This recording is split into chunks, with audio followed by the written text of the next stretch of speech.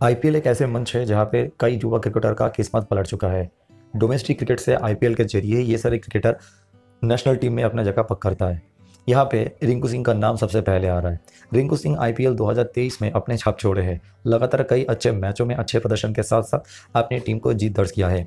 सबसे ऐतिहासिक मैच उन्होंने गुजरात टाइटन के खिलाफ खेला, जहाँ पे उन्होंने लास्ट पाँच गेंदों में पाँच छक्के जड़कर इतिहास रच डाला और दुनिया को दिखा दिया रिंकू सिंह का ताकत क्या है। और अंतिम ओवर में उनतीस रन लेकर अपनी टीम को जीत दर्ज किया। दरअसल दोस्तों, इस मैच के बारे में मैं आपको बता दूँ तो गुजरात टाइटन ने अपने 20 ओवर में 204 रन बनाया था। इसके जवाब में कोलकाता नाइट राइडर्स को अच्छा बैटिंग की ज़रूरत था। तो वेंकटेश अय्यर ने यहाँ पे तिरासी रनों का पारी खेला, हालाँकि यहाँ पे फिनिशिंग नहीं कर पाया। फिर यहाँ पे रिंकू सिंह ने एक तूफानी अंदाज में बैटिंग करना शुरू करे। रिंकू सिंह ने अपने स्वाभाविक शॉट खेलना शुरू किया था। अंतिम ओवर में किसी ने सोचा तक नहीं था, ये पाँच गेंदों में कई क्रिकेटर का ज़िंदगी पलट सकता है। यश दयाल का उन्होंने लगातार पाँच गेंदों में पाँच गगनचुंबी छक्के जड़े। दरअसल पहले छक्का नब्बे मीटर का था। बहुत ही शानदार ये छक्के थे। फिर दूसरा छक्का उन्होंने पचासी मीटर का जड़ा।